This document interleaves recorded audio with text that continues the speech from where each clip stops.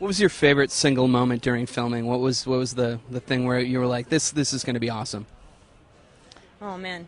Um, I think maybe the prom scene. I, I know you don't know about that, but everybody else, the prom scene. Like, there's there's the tree scene, the prom scene. This this one was um, it was very defining of like the whole movie, and it was sort of towards the end of production, which was appropriate because it was like the end of the film, and uh, it just felt right. I don't know. It's like it, all of it did, but it was very much a, like a struggle. It was like because we feel a massive amount of responsibility. Um, but that one just like th- th- for some reason that scene just like worked, and then then I like I knew it was my.